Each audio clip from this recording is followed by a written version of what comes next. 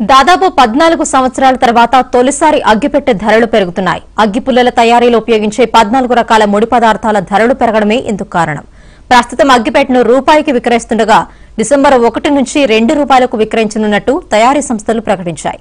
అగ్గిపుల్ల తయారీలో వినియోగించే రెడ్ ఫాస్ఫరస్ మైనం బాక్స్ బోర్డులు పేపర్ పొటాషియం క్లోరైడ్ గంధకం వంటి వాటి ధరలు పెరగడంతో అగ్గిపెట్టె ధర పెంచక తప్పడం లేదని తయారీదారులు పేర్కొన్నారు.